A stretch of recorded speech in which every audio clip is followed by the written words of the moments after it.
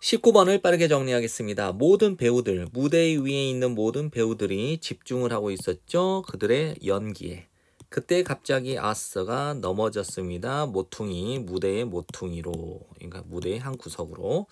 지번이 즉시 다가갔습니다. 아서에게. 그리고 발견했습니다. 대절 전체를 아서의 심장이 뛰지 않고 있다는 것을. 지번은 시작했습니다. CPR, 심폐소생술을. 지번은 작업을 했습니다. 조용히. 힐끔 보면서 가끔씩 아서의 얼굴을. 그는 생각을 했습니다. 누구겠어요? 지번이 생각을 했겠죠. 제발 시작해라. 숨 쉬는 것을 다시 제발. 그러니까 숨 좀 쉬어 다시 제발. 아서의 눈은 감겨져 있었습니다. 잠시 후 회색 정장을 입은 한 노인이 나타났습니다. 그리고 재빠르게 무릎을 꿇었습니다. 아서의 심장 옆에. 저는 월터 야코비입니다. 저는 의사입니다. 그는 전했습니다. 차분한 목소리로 전달했습니다. 지번은 닦아냈습니다.